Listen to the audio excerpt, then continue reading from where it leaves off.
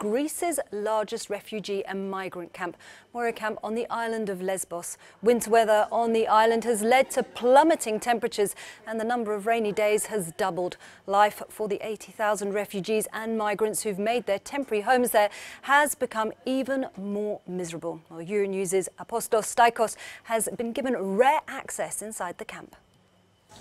It was only a sudden rain which lasted for 20 minutes.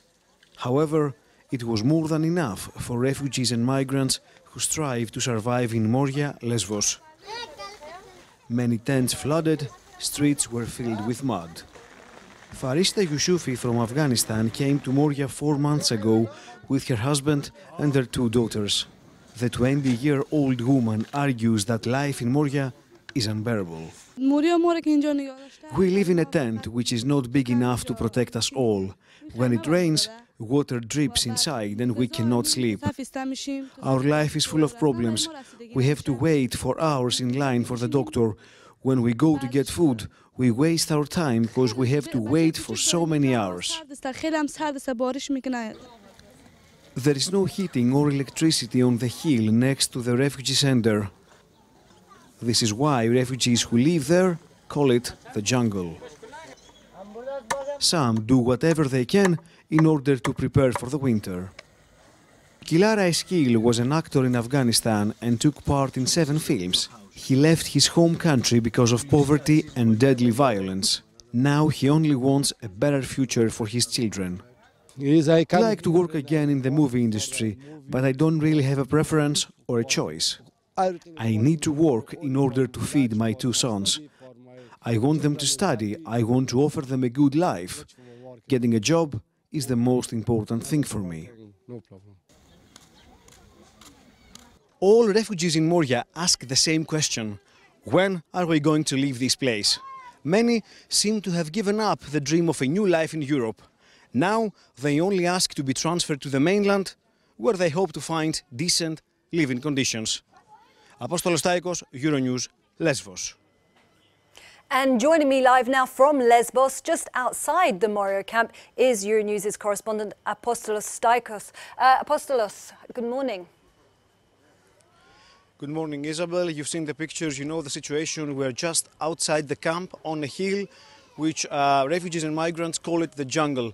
And I'm joined by Mujda Jarif. She's 24 years old from Afghanistan. She came to Moria two months ago and she's an English teacher. Uh, she, with a, she works with an NGO here on the island and she teaches English to uh, little children. Now, uh, Muzda, thanks for being with us. And you said that you came to Moria.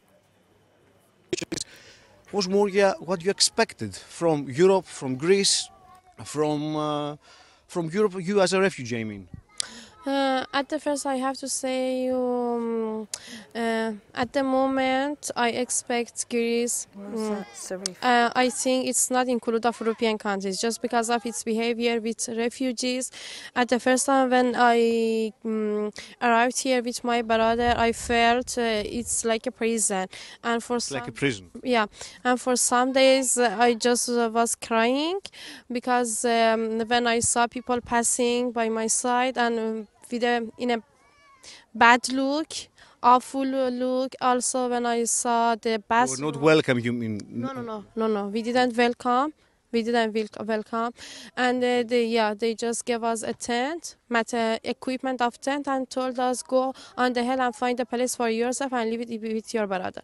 I asked them for uh, living in an iso box and they told me all of them are full and um, we have no more space that's my next question I mean, it's winter. It's really cold. It's. I mean, uh, we are getting sick. I mean, we're we're coughing all the time. And the question is, is is it possible for you to get a place in the camp? Have you asked for?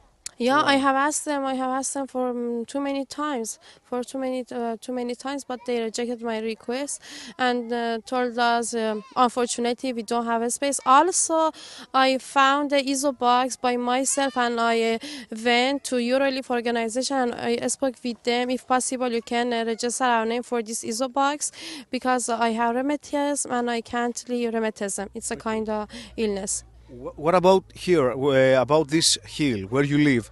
talk to us about about what happens during the night. I mean, we were here looking for you last night, and it was freezing. There is no light and there is no heating. Yeah, they send us without no electricity, without no heater, without no quilt or blanket, and uh, just uh, some charity groups came here and uh, gave us enough uh, quilts and some material. Uh, Final question Yeah. about the future. Where would you like to go? I would like a few a line about your hopes and dreams. Mm, actually, there, there is no difference. Um, each country that I find myself comfortable, helpful, and peaceful, and I can uh, reach to my wishes, dreams, and my dreams will come true.